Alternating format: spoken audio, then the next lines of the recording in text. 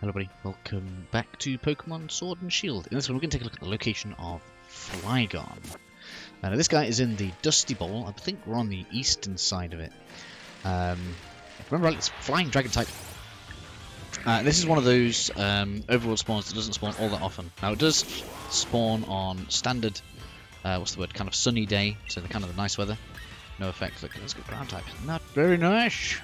Uh, so let's go get a poison jab on here. Um, we'll let tox toxicity go down. It's fine. Um, not going to be able to paralyze it like I would normally, which is a shame. If I could there, then we're good. But, um, ouch, is going to hurt. I guess we're going to find out its type in a minute. It might be Dragon Ground type. Um, I'm not great with the with the uh, the actual typings of of Pokemon. Uh,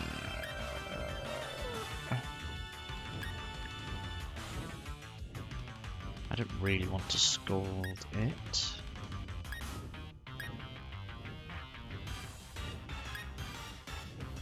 Um,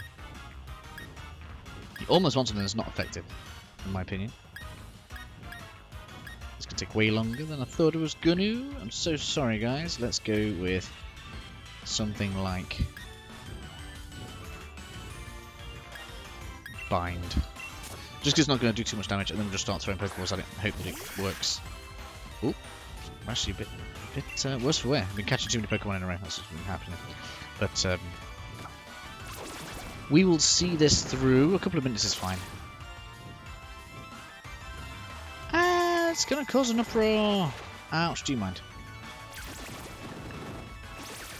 We'll throw a Pokeball, see how lucky we are. Right, it's probably just going to pop straight out of it, but it's fine.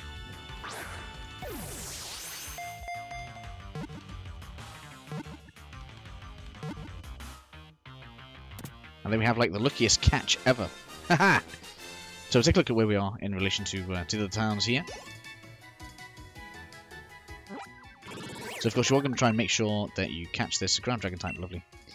Um, you are going to want to make sure that you uh, you catch it first time, otherwise you're going to have to wait for a couple of days for it to respawn again. Uh, but as you can see, you can kind of see the, the, pools down in the rocky pool that are over there. You can see the Big Ben and uh, Hammerlocke. Um, if you've watched, uh, Machamp is literally just across. So, uh, yeah, hopefully that helps you guys find Flygon. And um, I'll catch you guys in the next video. See you then.